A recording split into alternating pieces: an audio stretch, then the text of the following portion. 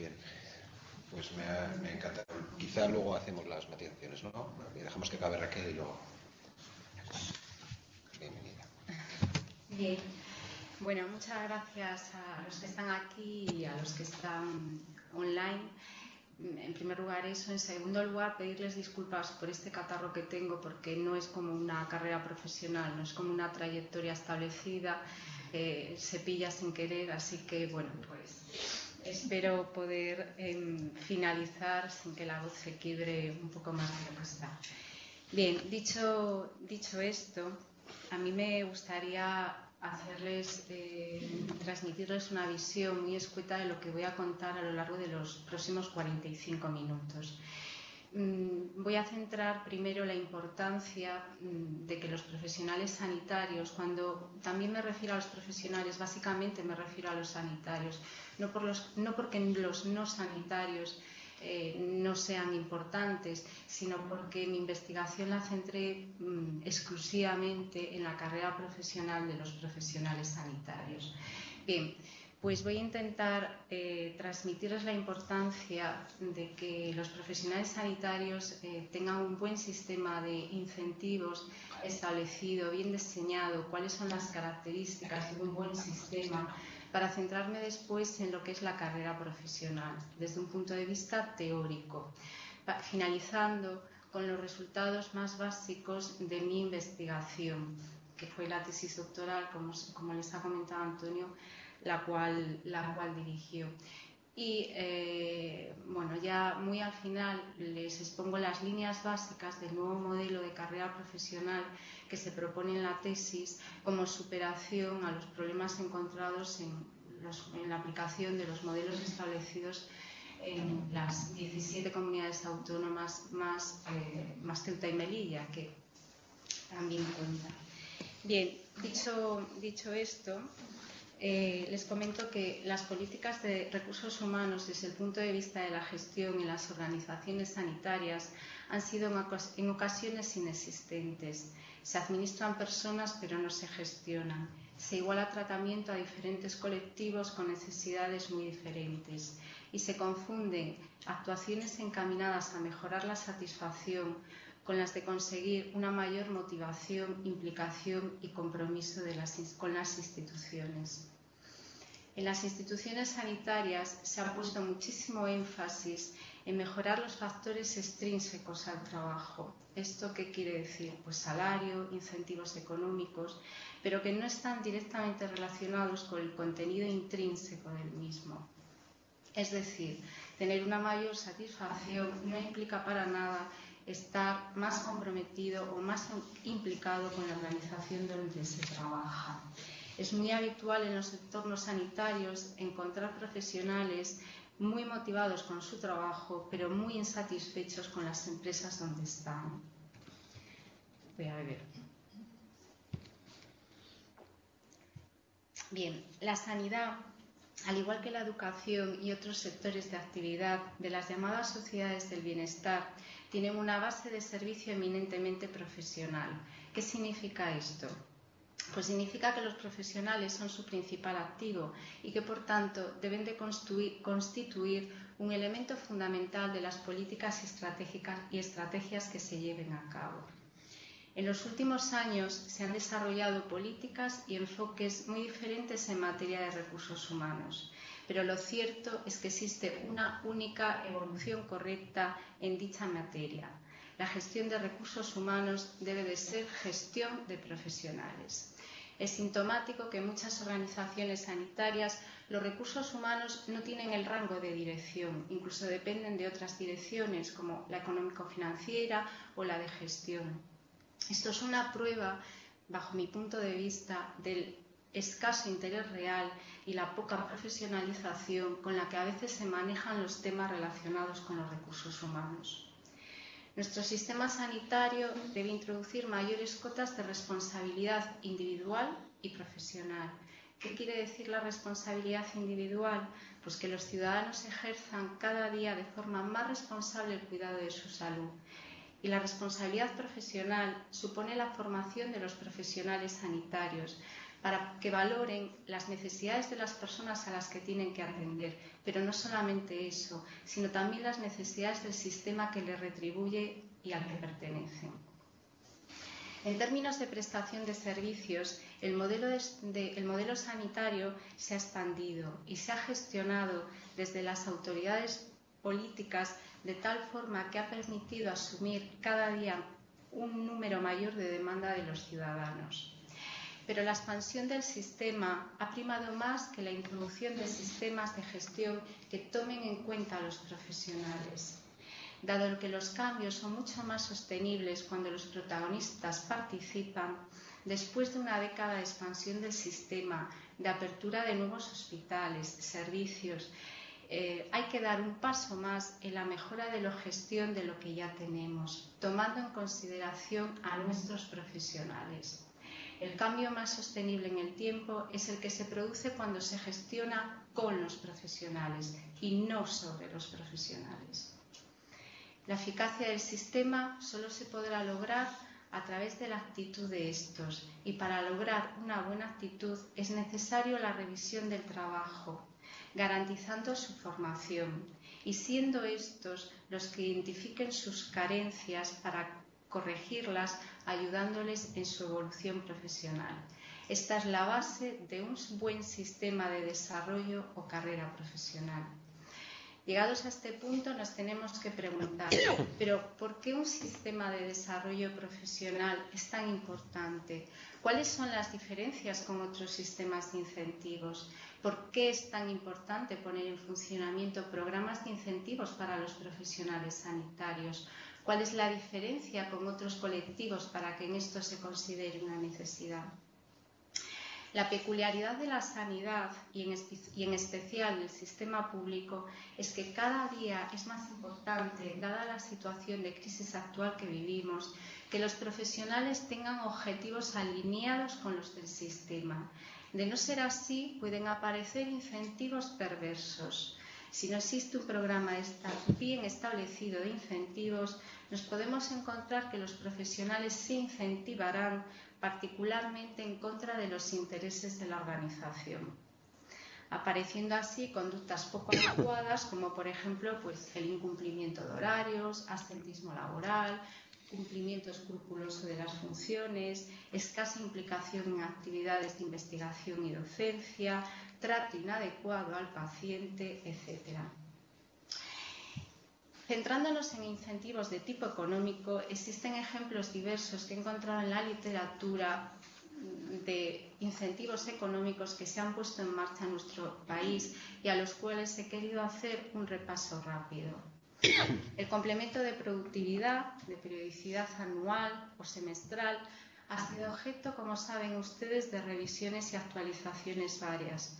Su poder incentivador actualmente es muy escaso. Su retribución está poco ligada a objetivos, frecuentemente poco definidos y en especial da la sensación de que su obtención es independiente del esfuerzo o rendimiento desempeñado. El complemento de exclusividad, creado en el año 87 como complemento específico, tiene por objeto un mayor compromiso laboral, dado que se basa en la renuncia al ejercicio de otras actividades profesionales, en especial en la empresa privada. Dicho complemento ha significado más un mecanismo de control de la actividad por parte de la Administración que un verdadero incentivo.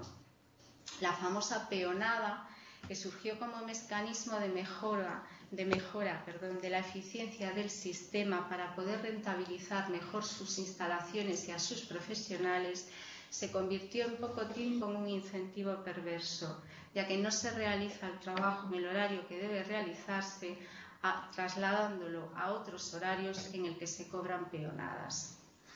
Este tipo de incentivos es lo que se conoce como relación de agencia, cuando el profesional incentivado tiene poder decisor delegado en él por el principal. Esta situación se basa en la existencia de una información asimétrica, ya que el profesional hace uso de la misma en su provecho, al objeto de tener más incentivos. Otros incentivos son el de antigüedad, aunque no supone una cuantía muy importante, no pudiendo destacarlo como un elemento, como un incentivo de gran calado. Un incentivo puesto en marcha por algunas organizaciones diferentes a los nombrados hasta ahora es el, es el llamado pago por objetivos o dirección por objetivos, también pactados con una periodicidad establecida.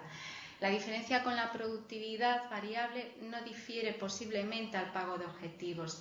Se le ha querido dar un matiz más individual, pero en su conjunto ambos sistemas se basan en una retribución variable asociada a determinados logros o consecuciones.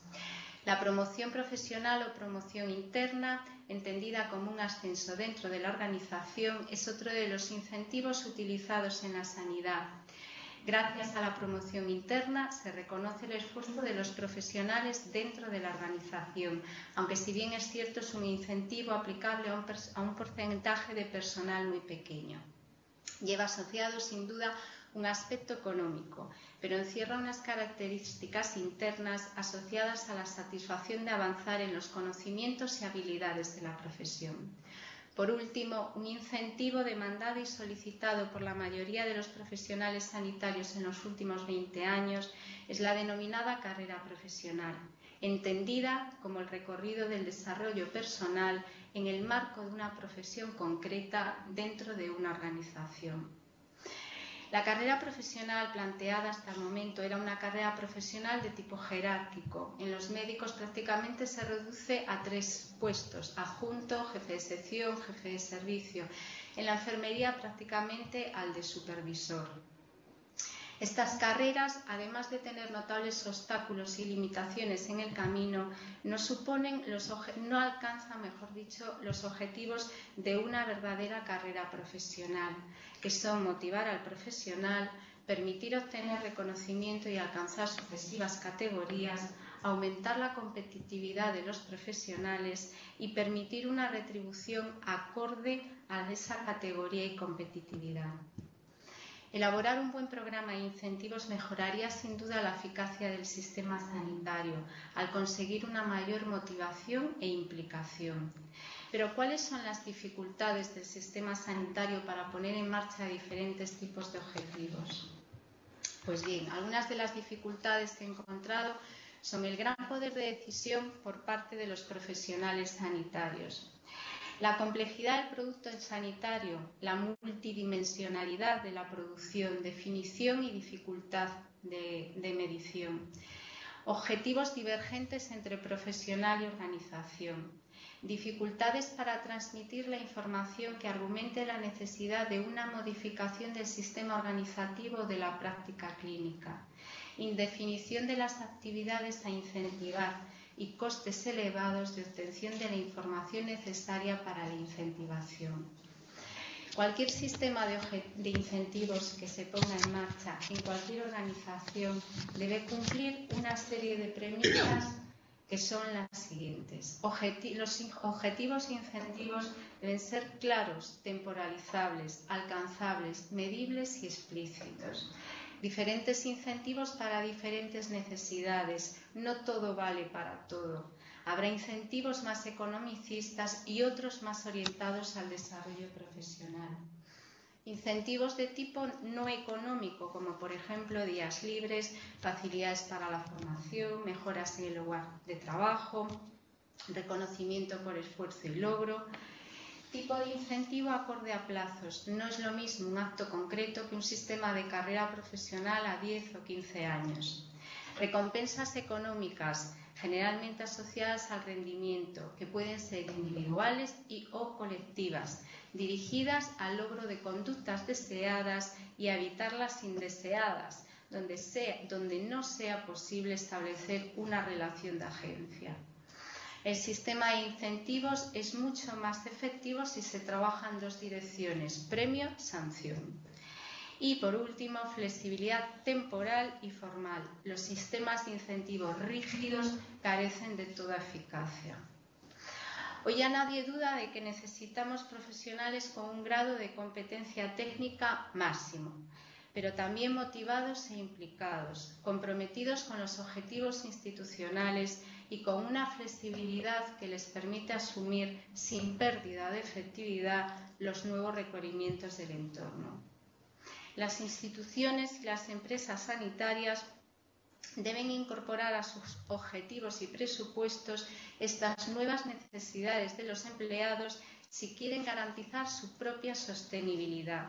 Y para conseguir dicha sostenibilidad, las políticas de recursos humanos son un elemento clave del sistema. Bien, desde este argumento vamos a centrarnos en un tipo de incentivo concreto, que es la carrera profesional como elemento de motivación. Miren ustedes, los puntos de la carrera profesional son básicamente de tipo intrínseco. ¿Qué quiere decir esto? Pues que van ligados a la percepción interna de desarrollo profesional y reconocimiento público al reconocer la competencia mediante la creación de niveles o categorías. Otro tipo de efectos positivos que puede dar la carrera son las motivaciones extrínsecas y en estos se incluyen más los temas económicos y otros como el mérito, para acceso a otros procesos pues, de selección, de formación, de promoción, etc. Conseguir un nivel o grado de carrera debería de estar asociado a algún tipo de privilegio o elemento incentivador dentro de la organización, como por ejemplo ejercer funciones de tutoría y docente, formar parte de comisiones de evaluación, de seguimiento, acceder a becas de investigación, ser nombrado para órganos de auditoría o para funciones de gestión y dirección. Las organizaciones tienen el reto de aportar a sus profesionales las experiencias que aumenten su empleabilidad ya que la continua promoción es difícil de ofrecer durante toda la vida laboral, claro. Si un trabajador consigue durante su permanencia en la empresa mejorar sus competencias, participar en proyectos interesantes, tener el reconocimiento de sus compañeros, de sus jefes, se sentirá sin duda alguna satisfecho e implicado con la organización y estará dispuesto a participar de forma activa en sus objetivos. La carrera profesional tiene, por tanto, dos vertientes, una individual y otra organizacional. Los profesionales sanitarios, en especial los médicos, todos sabemos que tienen una larga eh, formación, de media estamos hablando de unos 10 años. Otras profesiones son de más corta duración, pero lo que sí caracteriza a todos y cada uno de ellos es que se pasarán de media en el entorno sanitario trabajando unos 40 años. Me da igual en el público o en el privado. Con este horizonte de tan largo plazo, los sistemas sanitarios deberían de ser capaces de ofrecer un futuro atractivo frente a cambios organizativos y tecnológicos. Me atrevería a decir que es casi una obligación moral por parte del sistema público facilitar a sus integrantes el derecho a una progresión profesional reglada, es decir, a una carrera profesional. La carrera debe de ser un elemento motivador que haga frente a los elementos desmotivadores del sistema, como por ejemplo sobrecarga asistencial, deficiente organización del trabajo, trabajo rutinario, falta de concreción, eh, de, los objetivos, eh, reconocimiento insuficiente de actividades de docencia o investigación. Se han señalado hasta este momento los efectos positivos de un sistema de carrera profesional. Pero un sistema de carrera profesional mal diseñado también tiene muchos efectos negativos. Algunos de estos son los siguientes. Infrapromoción o promoción excesiva. ¿Qué quiere decir? Bueno, pues puede, suceder que una persona acceda a un nivel donde las exigencias sean superiores a su preparación y experiencia, o al revés. La doble carrera, que quizás se identifique como un problema más femenino, pero sí es cierto que hay muchos profesionales que tienen que renunciar a determinados puestos por no poder conciliar su vida laboral y familiar.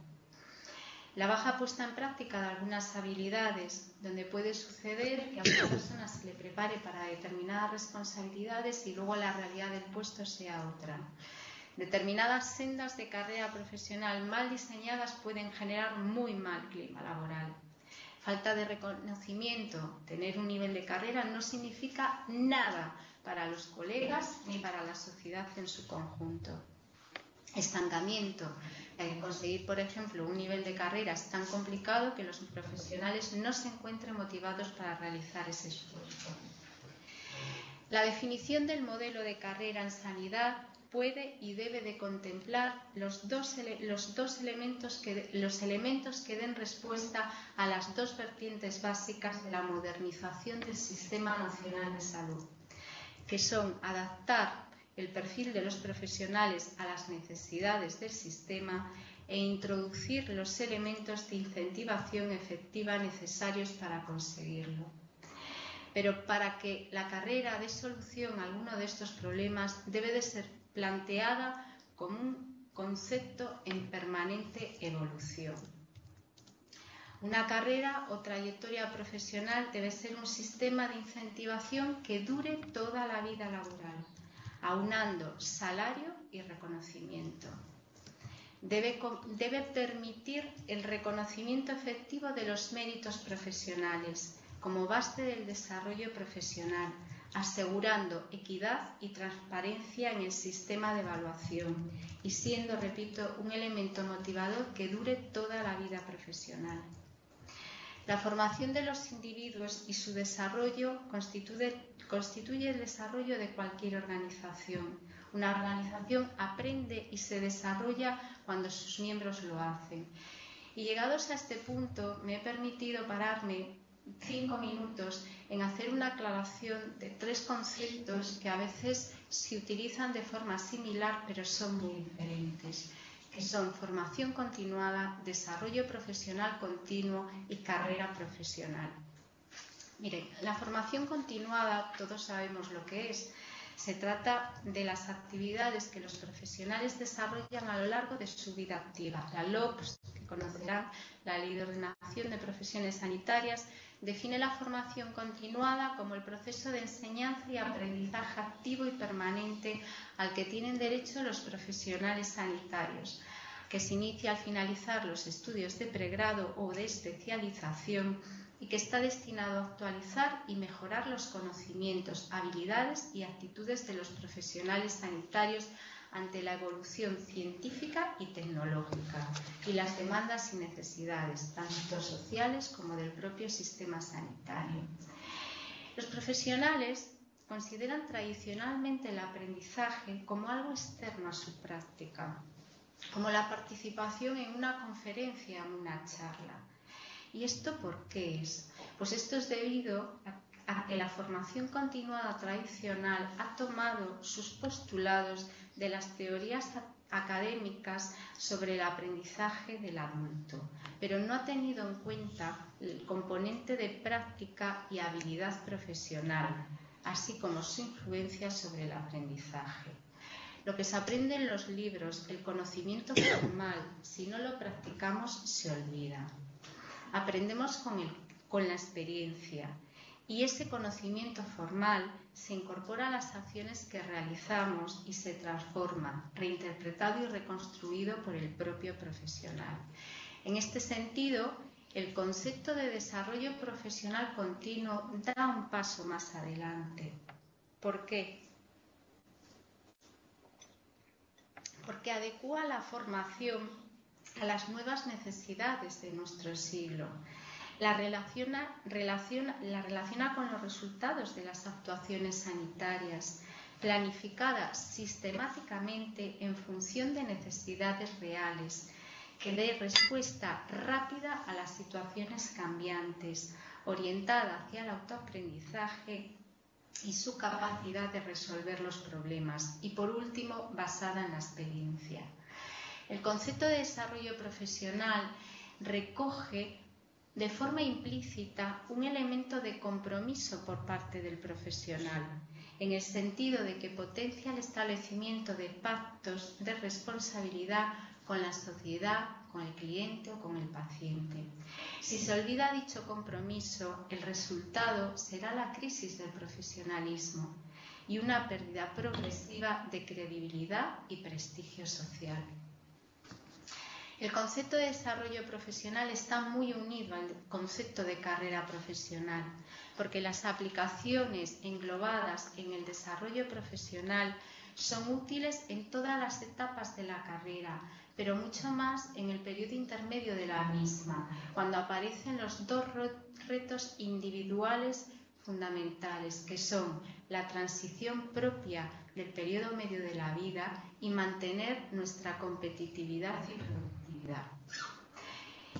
El desarrollo profesional se alcanza a partir de la revisión de la propia tarea. Cuando terminamos una tarea, lo normal es que nos preguntemos si habíamos podido hacerlo mejor. Esta revisión de nuestro trabajo es el común denominador en toda actividad de desarrollo profesional. Por último, el concepto de carrera profesional es un concepto que abarca un programa ofertado por una organización, empresa o colectivo profesional que define el recorrido del desarrollo personal en el marco de una profesión concreta de una empresa y cuyo objetivo es una mayor incentivación y promoción profesional.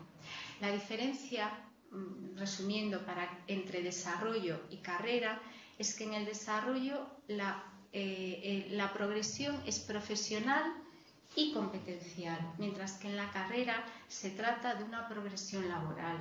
Otro ejemplo que me gusta poner de diferencia entre desarrollo y carrera es que el desarrollo profesional es la película entera, la carrera es un fotograma de esa película. En resumen, vemos que se trata de, tres conceptos totalmente distintos que encierran filosofía diferentes. Pero a partir de este modelo teórico se deben de poner en marcha los sistemas que sepan conjugar y recoger estos tres conceptos básicos. Debe tratarse de un modelo que actualice la competencia de los profesionales sanitarios en relación a los cambios organizativos y tecnológicos, pero siempre dentro de un marco estratégico de desarrollo profesional continuo. Las estrategias de desarrollo profesional deben permitir y fomentar un diseño personalizado de las trayectorias en el contexto de la empresa, que es a lo que denominamos carrera profesional, permitiendo también modelos de carrera diferentes para los integrantes de un mismo colectivo, por ejemplo, carrera asistencial o carrera de gestión, algo que como veremos más adelante nuestros modelos de carrera no lo han permitido. Bien, llegados a este punto, nos preguntamos cómo ha sido la aplicación de los modelos de carrera profesional en España. ¿Han cumplido todos estos objetivos, todo este marco teórico que hemos definido? Pues bien, en este momento es cuando les voy a comentar de forma muy breve los resultados de mi investigación. Pero para ello he considerado necesario eh, explicarles el planteamiento metodológico que realicé a lo largo de la misma. Bien, el planteamiento metodológico fue el siguiente. Primero, revisión bibliográfica del estado del arte. Se ha realizado un análisis de la bibliografía, textos legales, documentos e informes relacionados con la carrera profesional en las bases de datos más importantes de nuestro país. Análisis de la información relativa a la carrera profesional aparecida en todas las páginas web de los servicios regionales de salud de las 17 comunidades más las ciudades autónomas de Ceuta y Melilla y en GESA. Realización de entrevistas abiertas a expertos en gestión sanitaria y cargos públicos de los servicios de salud. Y por último, propuesta de un nuevo modelo de carrera basado en el modelo de calidad FQM y que sirviera como base para la superación de las deficiencias encontradas en los modelos de carrera establecidos en las diferentes comunidades autónomas. Miren, el artículo 41 de la Ley de Cohesión y Calidad del Sistema Nacional de Salud define la carrera profesional como el derecho de los profesionales a progresar de forma individualizada, como reconocimiento a su desarrollo profesional en cuanto a conocimientos, experiencia en las tareas asistenciales, investigación y cumplimiento de los objetivos de la organización en la cual prestan sus servicios.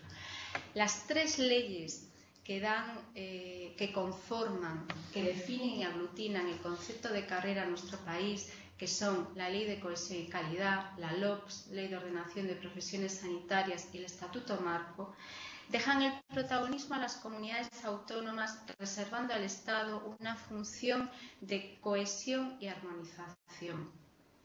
Pero la realidad ha demostrado que ambos papeles no son difíciles, que son difíciles y que los resultados no son todo lo esperado, como no son todo lo acertados como se hubiera deseado, en especial por las diferentes exigencias entre comunidades para acceder a los diferentes niveles de carrera. Sirva como ejemplo en Madrid para conseguir un nivel 4 de carrera hacen falta 20 años de actividad profesional como fijo en el sistema público. En Navarra hacen falta 25. Las carreras profesionales se estructuran en todas las comunidades autónomas en cuatro o cinco niveles, pero solamente cuatro son retribuidos. En el caso de la Comunidad de Madrid, tiene además una denominación, como es nivel 1, o especialista, nivel 2, especialista senior, 3, consultor, 4, consultor senior.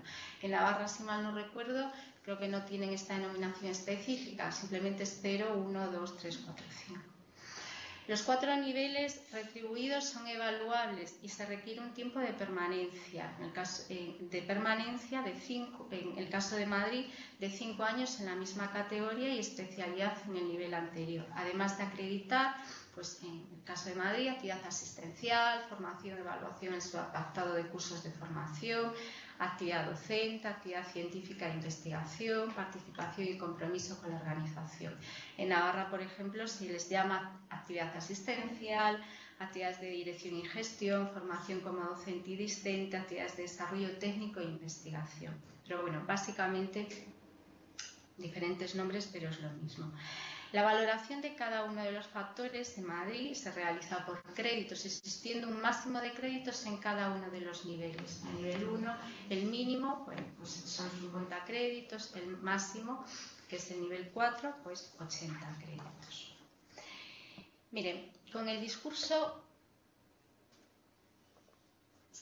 con el discurso de la carrera profesional en la sanidad se pretendía justificar algunos de los problemas que persiguen a nuestros profesionales, como por ejemplo la falta de motivación, la dificultad de promoción jerárquica, independencia entre remuneración y desempeño o falta de reconocimiento social.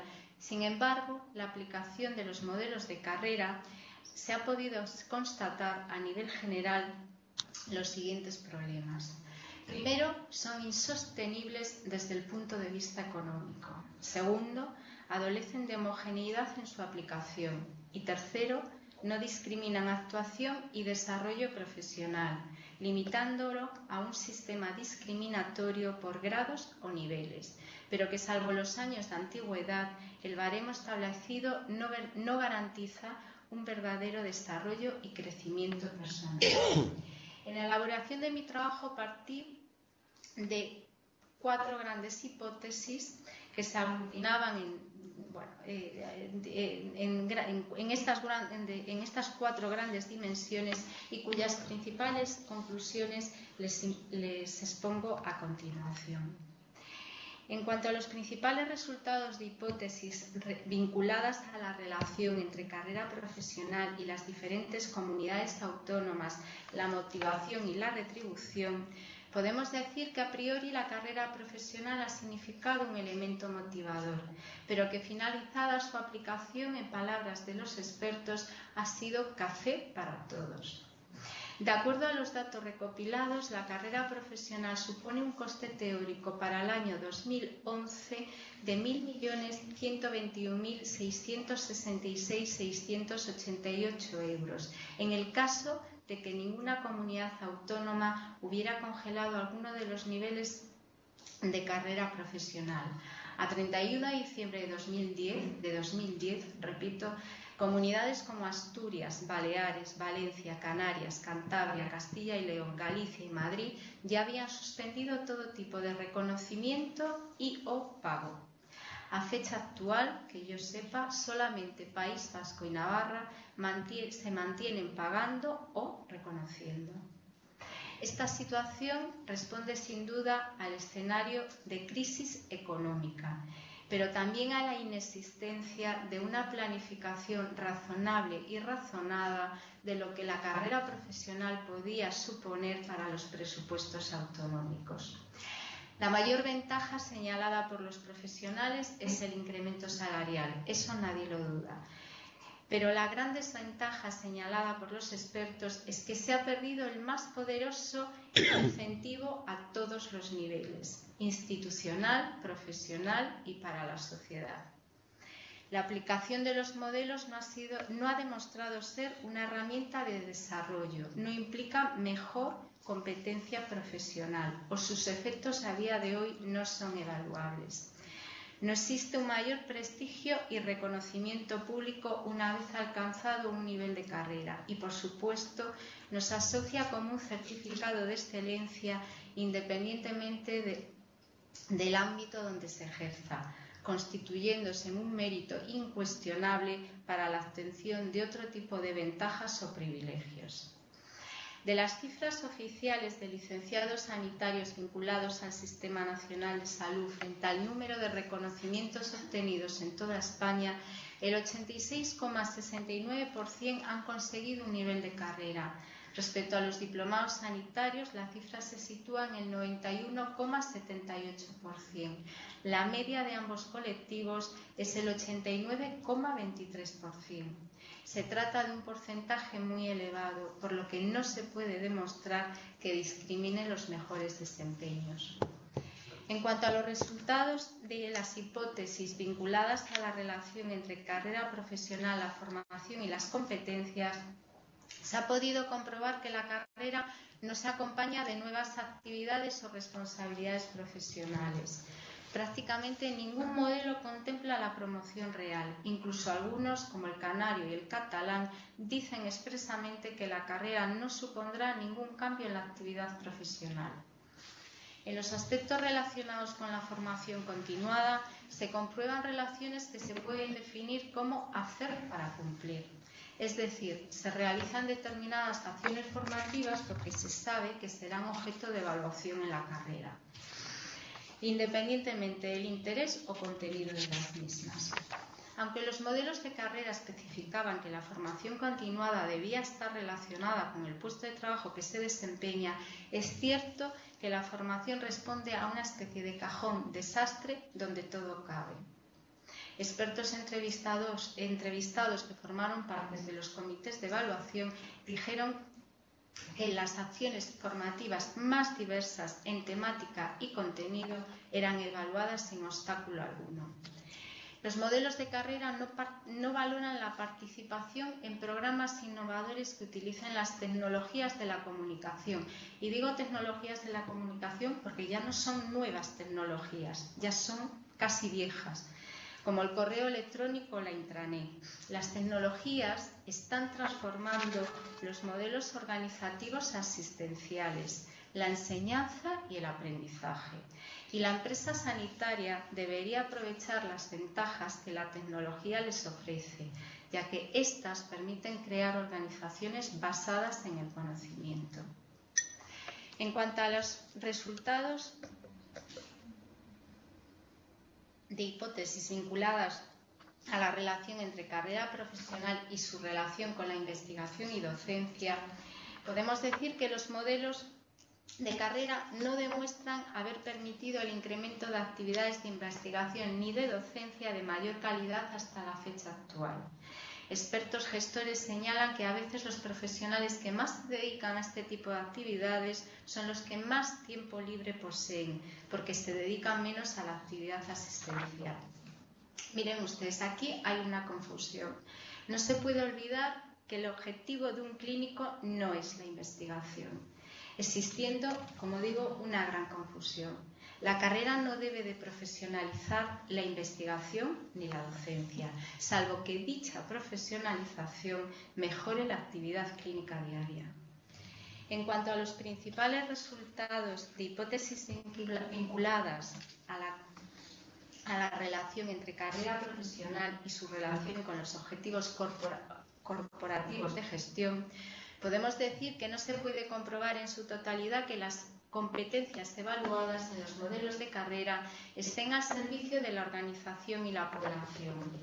Los expertos coinciden en que el elemento fundamental a valorar debería haber sido la calidad de la atención prestada en el trabajo diario y, en el segundo lugar, actividades relacionadas con la formación continuada, la docencia, la investigación, estableciendo un equilibrio entre ellas, pero priorizando la tarea asistencial.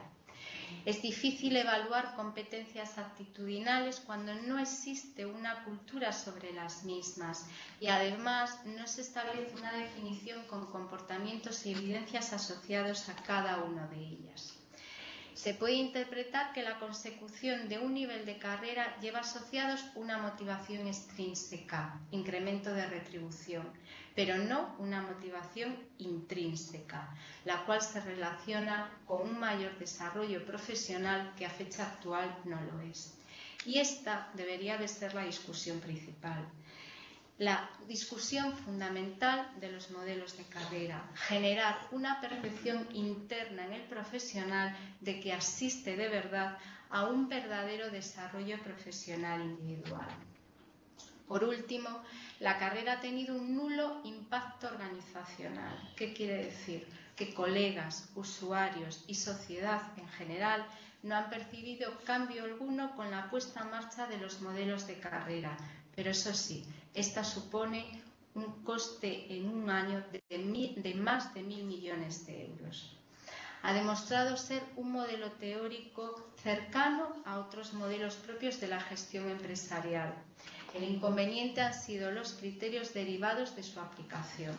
Primero, no han sido criterios aplicables a todo el territorio nacional. Segundo, no responden a verdaderos criterios de calidad y consecución real de méritos. Y tercero, no han sido criterios homogéneos. Yo estoy de acuerdo con que las comunidades autónomas deben de mantener su idiosincrasia, sin duda alguna, pero urge homogenizar criterios e ir hacia un modelo de carrera basado en criterios profesionales que aborde los problemas encontrados y donde las diferencias autonómicas sean mínimas. Este ha sido uno de los objetivos fundamentales del modelo de carrera que se propone en la tesis. Algunas de las medidas del nuevo modelo son las siguientes. Primero, información detallada a todos los profesionales de qué se evalúa y cómo. Interiorizar la carrera profesional como un elemento de desarrollo profesional continuo. Utilizar la carrera como valor para conseguir otros beneficios. Exposición pública del grado adquirido y reconocimiento del mismo. Posibilidad de poner en marcha cambios en las responsabilidades del puesto de trabajo una vez se acceda de nivel establecer niveles o grados discriminativos que requieran un esfuerzo duradero en el tiempo, números clausus para la consecución de carrera profesional, misma retribución por niveles o grados a nivel nacional, sostenida por el Sistema Nacional de Salud financiera y organizativamente, homogeneidad, que es diferente a homologación, para todas las comunidades autónomas, considerar las diferencias entre carrera administrativa o de gestión y o asistencial. Posibilidad de perder un nivel de carrera profesional en el caso de no tener una actuación profesional correcta. Y por último, basada en la calidad de la atención prestada y complementariamente en la formación continuada, la docencia, la investigación y la gestión clínica. Miren, la carrera todavía podría ser una excelente herramienta de desarrollo profesional, siempre y cuando conserve su propósito de preservar los valores de mantenimiento y desarrollo de la competencia, que discrimine los mejores resultados y que al igual que los buenos objetivos sea difícil alcanzarlos pero no imposible. El profesional, sin duda alguna, tiene también una gran responsabilidad aquí, porque, como decíamos antes, la revisión y la reflexión de su trabajo deben de ser una constante en la actuación profesional sanitaria, ya que esto es lo que nos lleva a desarrollarnos profesionalmente. Ambas responsabilidades de los profesionales y de la organización pretendían ser abarcados en el modelo que se establece en la tesis doctoral. Para finalizar, y en aras de evitar las perversiones que han tenido hasta ahora todos los sistemas de reconocimiento, el o los modelos de carrera profesional que se pongan en marcha a partir de ahora deben converger el interés individual de logro con el interés de la organización y los elementos de desarrollo de la gestión clínica con los de desarrollo de gestión organizacional pero para ello tienen que ser muy evidentes los resultados que tienen que ver con los valores centrales del sistema sanitario público o con otros considerados actualmente clave y que son los siguientes. Accesibilidad, equidad, el paciente como centro de decisión clínica, informando y respetando su autonomía, el trabajo en equipo multidisciplinar de verdad, gestión por procesos, coordinación de niveles asistenciales y continuidad del tratamiento, el ahorro en servicios y prestaciones, la seguridad clínica, las competencias para la gestión clínica, conocimiento y aplicación de ese conocimiento y, por último, la evidencia clínica en la toma de decisiones. El otro día, el otro día leía una entrevista y bueno, una de las frases que decía este señor Itamar Robos, bueno, no lo voy a pronunciar, Roguski, decía que el movimiento de recursos humanos, el auténtico, el original, quería desarrollar los recursos de los humanos y no a los humanos como recursos. Esta, esta, quizás, me quedo con esta frase, debería de ser la esencia y el espíritu del nuevo enfoque que se le dé a la carrera profesional cuando las circunstancias económicas permitan retomarlo. Muchísimas gracias por su atención. なるほど。